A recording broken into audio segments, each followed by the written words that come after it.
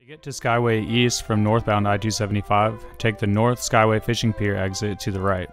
Proceed down the road to the stop sign.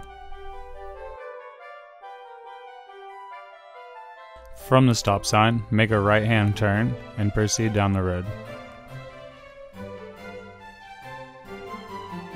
Now you'll turn right into this big beach area, drive down the beach, stay out of the loose sand, and look for the elite vans in this area.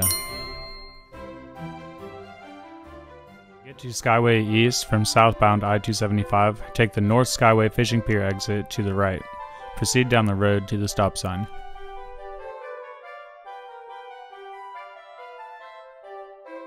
From the stop sign, make a left hand turn, drive under the overpass, and proceed straight until the road forces you to curve to the left, and proceed down the road.